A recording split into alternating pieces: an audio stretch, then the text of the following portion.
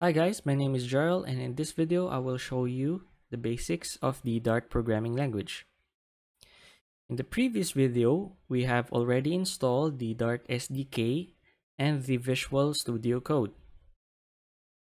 In Visual Studio Code, we then added this Dart extension.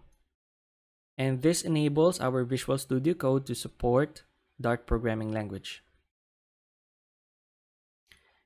We then created a folder called dart underscore test. And inside this folder, we created the bin folder. And inside the bin folder, we created this main.dart file. Inside the main.dart file, we've created this main function, which is of type void. This main function right here is a special required top level function in which the app execution begins. We've also printed a string message right here and we were also able to debug this by going to the debug section and then clicking this play icon. And so you'll notice that the message is printed right here. Now to begin with the basics, I will show you how to declare a variable in Dart programming language. To create a variable, we could type in var underscore or var space number.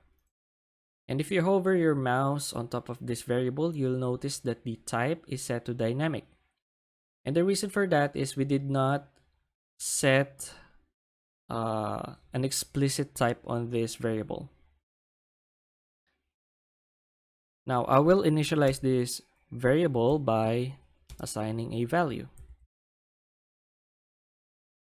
If I hover my mouse again, you will notice that the type of the variable changes to int. And the reason for that is there is a feature on Dart called type inference, which is also similar to the way Java JavaScript variables uh, behave. And then uh, now I will show you how to create a function. So I will create a function called add, which accepts two numbers. As an input. Print.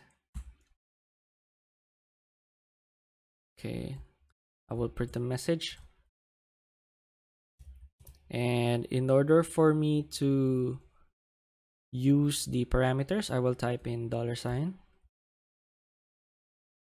Num1 dollar sign num2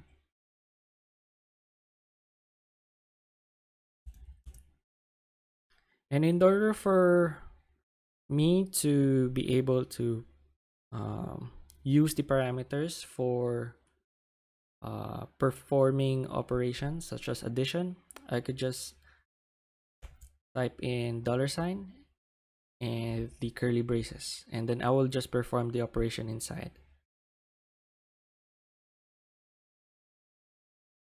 Like so. Now, let's try to verify if this uh, function is working. So I'll type in add one, two. Now let's debug. And as you can see, our function is working.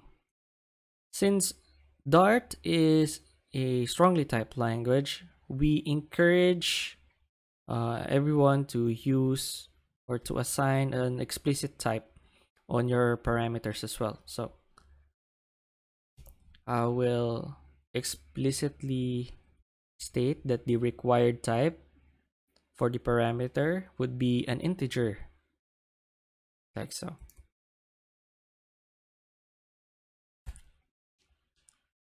Okay. And in the in my console, you will notice that on there is a problem. And the problem is that we are not using this variable right here. So I'll just simply copy this and then paste it right here. Instead, and as soon as I do that, the the problem is removed. Now let's see if this is working again. And as you can see, it is working fine. Even though the number was instantiated or was declared with var, the add function is still accepting the variable. Uh, and that and the reason for this is the type inference that I told you earlier. We could also add inline comments like this.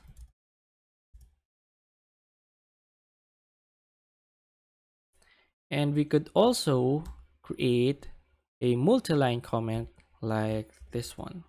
And this is very, um, this is ideal to describe your functions and this would also improve the readability of your code. If someone else will read your code, then they would immediately have an idea of what the function is for.